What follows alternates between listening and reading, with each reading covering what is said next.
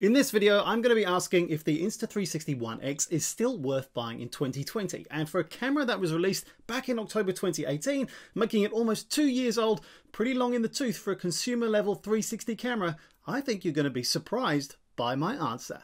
Let's go.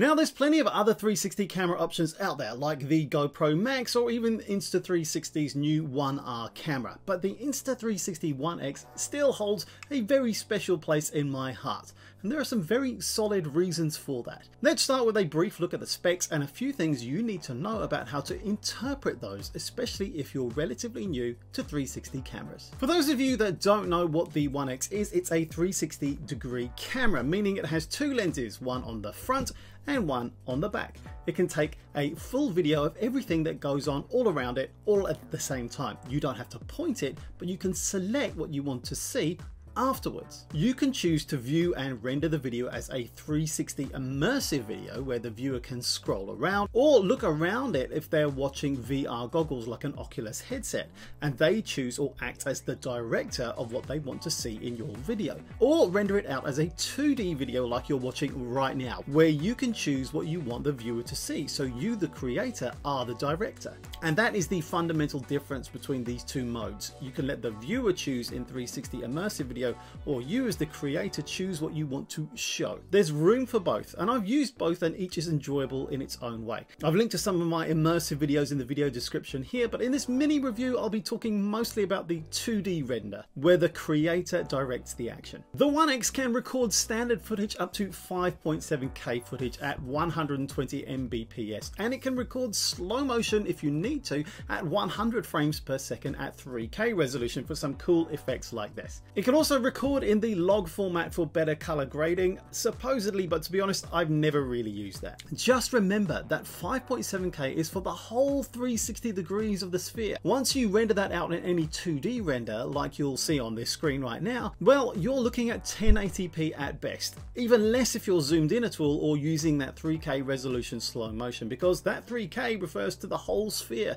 So actually, you're looking at something like 720p at best. It's okay at a pinch, but it's really built for viewing on mobile. Big screens will show the actual rendered resolution pretty quickly, so don't expect that a 5.7K 360 camera is going to give you 4K quality for your rendered 2D videos because it won't. There are 8K consumer 360 cameras out there now, but the workflow is nowhere near as simple and pleasant as a camera like the One X. They're a different class entirely in my mind, and not worth it actually, I think, for the reward effort ratio, especially if you prefer editing on mobile. But just so you know, that's an option. Now the One X has photo capability as well at 18 megapixels per shot, which is good, but the best bit of that is the app. You can export directly out of that for quick and easy great results.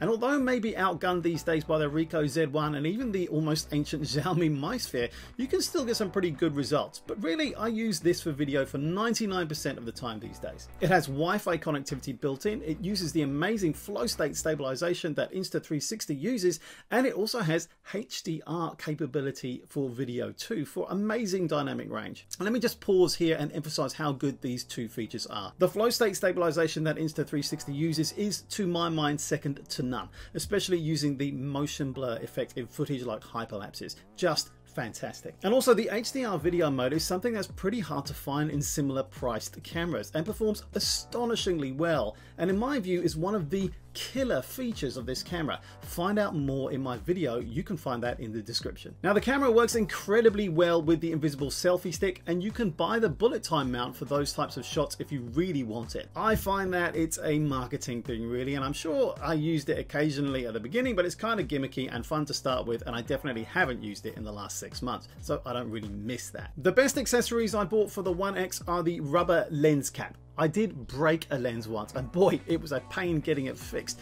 You can find that story over three videos on my channel, check the description for those links.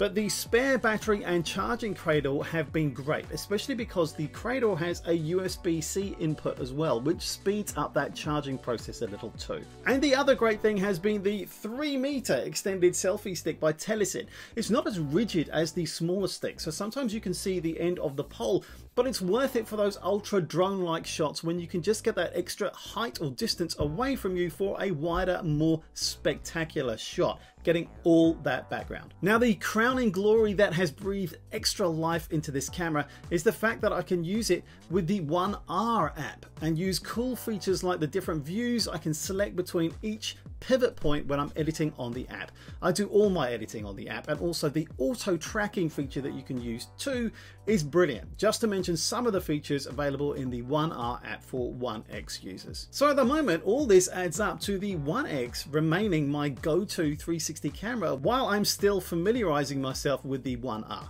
Yep, I still prefer my 1X to the 1R. And I think that's because I prefer the form factor and the better stitching result I can get because of the thinness of the camera compared with the 1R. I like the fact that I can get cheap batteries for it as well, so I can always have one spare. And I like the fact that I can shoot without a cage and that the selfie stick thread is built into the camera. Though I know that this is a weak spot in the build and you need to take care because you really don't want this snapping off. And yes, the 1R comes with the actual 4K module as well as the 360 camera module. And as the app develops, more and more features will be available exclusively for the 1R I'm expecting. But my bottom line is that the One X is still an amazing camera and well worth it in 2020 if you can get one. These are becoming increasingly difficult to find and I think it's set to become a bit of an era classic and even a bit of a design classic too. My advice would be to get one while you still can. Check out this video if you've enjoyed this one today and I'll see you again soon I hope. Make sure you subscribe to get all my latest content. My name's Sarb Johal and good night.